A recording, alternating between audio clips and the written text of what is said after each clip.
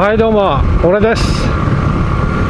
いやー久しぶりにねツーリングに出てきましたよ。今日もね特に話す内容とかも何も考えてないんですけどまだねそう言ってもまだ暑いですよね。まあ夏だからね怖い話しようか。怖い話。まあそうね俺はねあのお化けとかねあの幽霊とかねそういったものはね全然信じていないんですよ。いや俺が一番怖いと思うのはやっぱね人間なんですよ。うんまあ今日はね、まあ、そんな話しようか。うん怖い人間の話。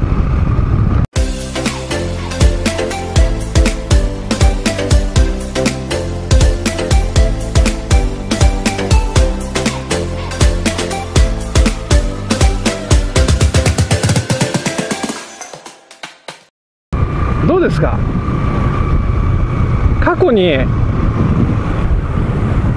ストーカーに会ったことあります？俺ねあるんですよ。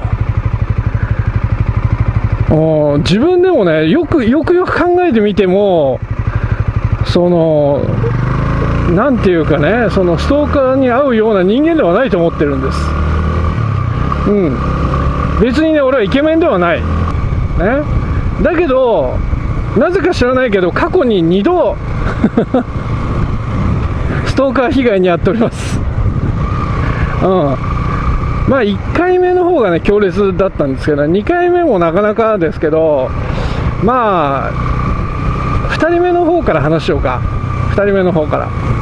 もう今は全くかもう関わりのない方ですけど、まあ、友人だと思っていた女性の方ですね。俺よりもね多分5歳ぐらい年上なのかな。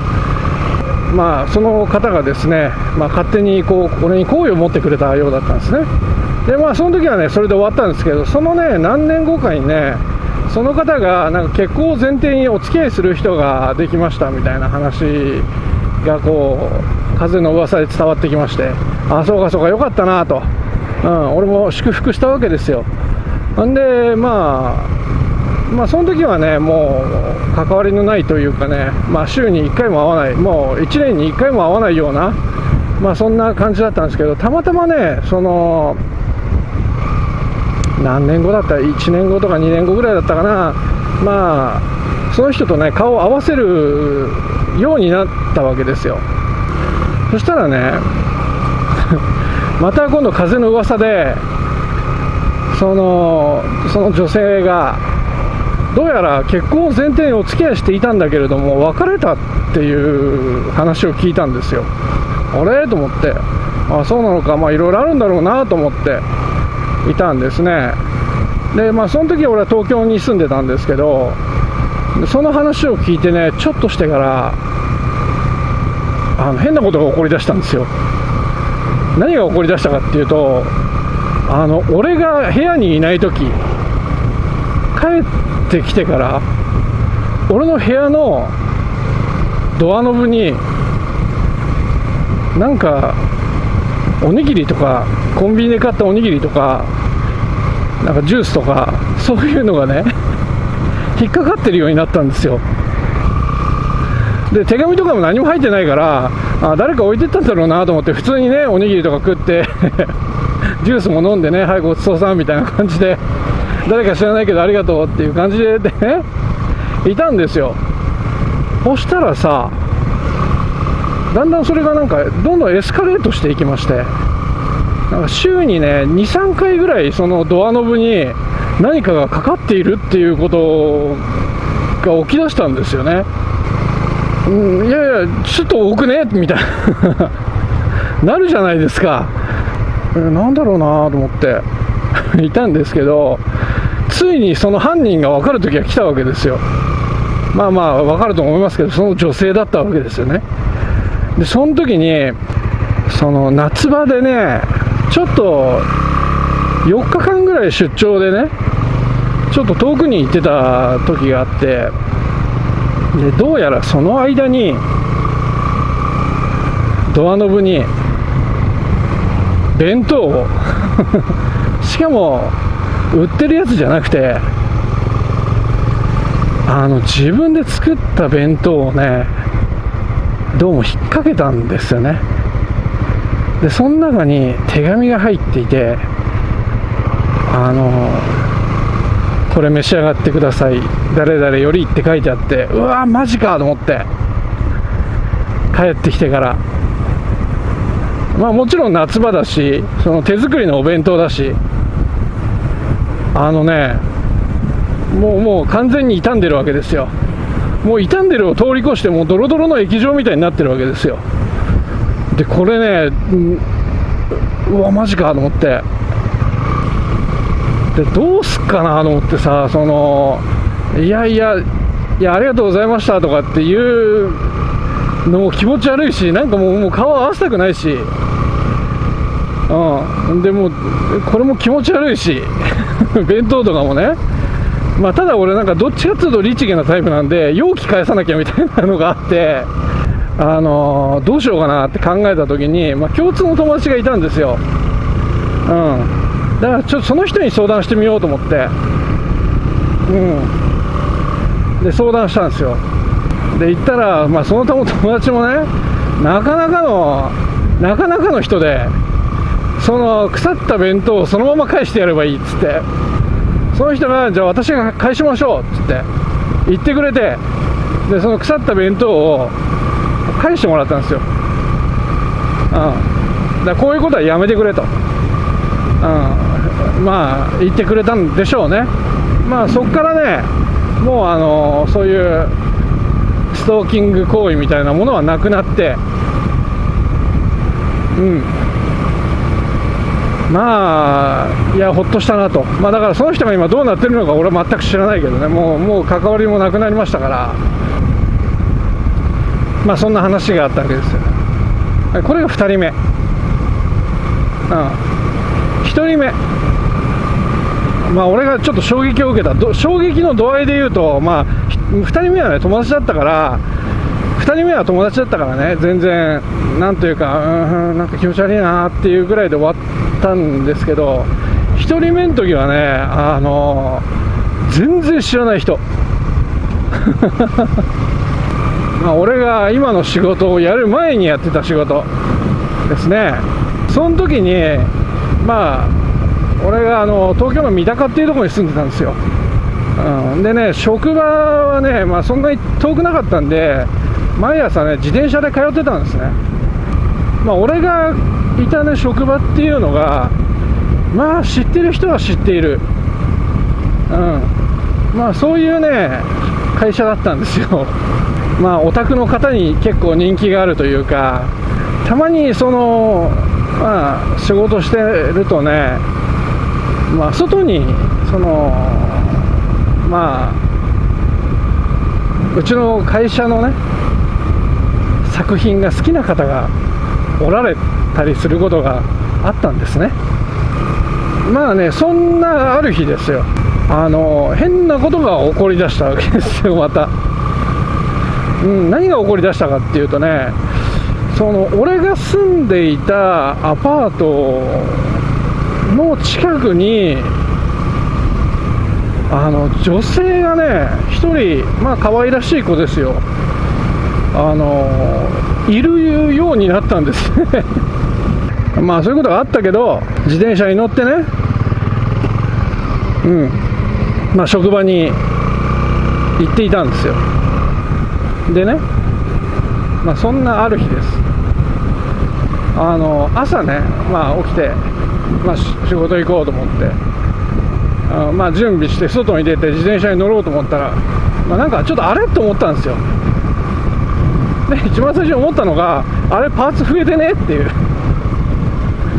ことだったんですけど、まあ、何が増えてたかっていうとあのね俺その前輪とあのー、そのフレームの部分にチェーンでねロックかけてたんですけど今度はねあの後輪のところに U 字のロックがついてまして。U 字のロックがついててでももちろん動かせないわけですよ。後輪と俺自転車のフレームに U 字ロックがかかってるわけですよ。誰だこの野郎と。こんないたずらしやがったのはバカ野郎と思って。もうだから切れないわけですよ。ね？その何やったって切れないですよねあの U 字のロックはね。えどうしようやべえなと思って自転車はないし遅れちゃうよと思ってとりとりあえずじゃ歩きで行くしかねえやと思って。でまあそのアパートの玄関先に出たらその女が立ってたんですよ。道を挟んだ反対側にその女が笑って立ってるんですよ。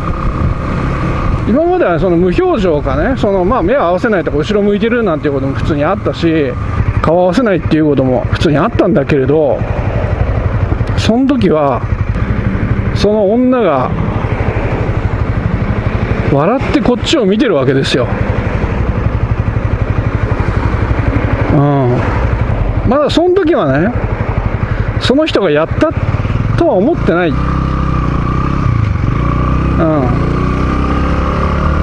思ってないというかね分かんないわけですよ、うん、まあねなんか笑って見てやがんなみたいなそんな感じだったんですけど。うんまさかなと思って。こんな子がねこんないたずらするわけねえよと思って。同じねそのアパートに住んでるやつがなんかいたずらでかけたとかそのそんな感じだろうと思って。うん。でしょうがないからね。もう歩きで職場行くしかないわけですよ。で歩きで職場に行ってはい着きましたと。そしたら その女がですよ。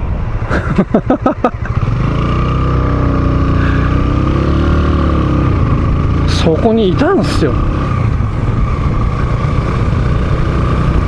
で俺その時にああこいつだと思ったんです。あいつがやりやがったと思って。でもしょうがないからもうこっちでもなんかちょっと気持ち悪くなってるから職場のね先輩に相談したわけです。こればっかりはもうちょっと俺もどうすることもできないからちょっと警察にお願いしようかと思いますけどって言ったらそしたらその先輩がねやっぱちょっと男気を見せてくれてじゃあ俺ちょっと話つけてくるわっつって言ってくださって。あいつの自転車に鍵をつけたのはお前かと聞いてくれてそうですと白状してそのあいつも困ってるから自転車の鍵をとりあえず外してやれと。でもうここには来るなと、うん、言ってくれてですね。まあそれ以降あのストーキングの被害はなくなりまして。うん。まあねでもあれでしたね。その自転車の鍵がついていて親と思って自転車の鍵ついててこの野郎と思ってんで職場に行って その女がいた時には本当にねあのね心臓が飛び出るっていうかね口から飛び出るっていう表現が一番ぴったりだと思いますけど暗闇で驚かされるよりもはるかにびっくりするというかうん。まあ怖い思いをしたと。いうことです。うん、そんなに怖くなかったでしょ。うまあ俺がそんなにね怖い話ができないっていうのもあるんですけど。あいやダメだな。怖い話でさ俺途中で笑っちゃうのがダメだよな。いやこれはねあのいけない。うん。はい。以上で俺の、えー、面白ストーカー話は終わりです。本日もご視聴いただきありがとうございました、えー、もうちょっとで着きますのでこの辺で終わらせていただきたいと思います。もしよろしければチャンネル登録もしていただけるとありがたいです。うん。はい。それじゃあまた。バイバイ。